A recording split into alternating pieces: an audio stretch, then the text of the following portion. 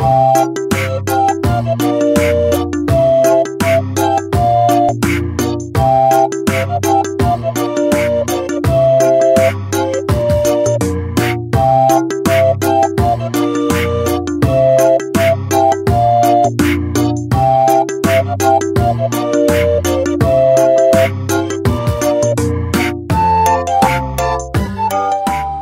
umaga sa inyong lahat.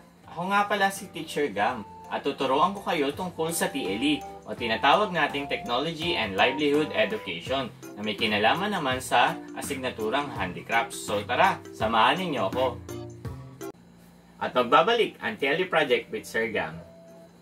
Kamusta ka na, Popoy? Ano mga problema? Malapit na kasi ang kaarawan ni nanay at hindi ko pa rin alam kung ano ang regalo sa kanya. Mahirap pa naman ngayon at pandemya. Hay, Alam ko na. Bakit hindi ka na lang gumawa ng isang handicraft na ikatutuwa ng iyong ina? ano yun, Sir Gam? Ano nga ba ang handicraft?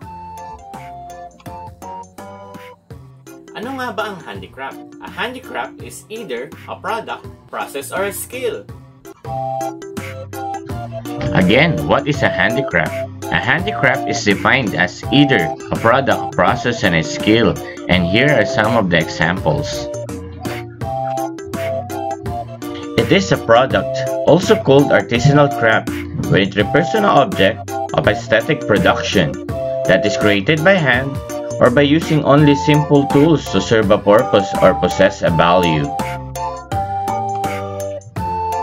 It is a process when it focuses on the techniques used, such as weaving, to create items by hand.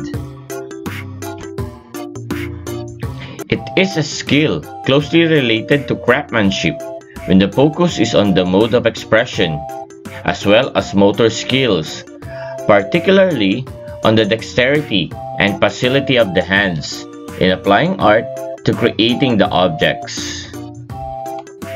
At magbabalik ang project with Sir. Ayan, so ating balikan. Ano nga ba ang handicraft?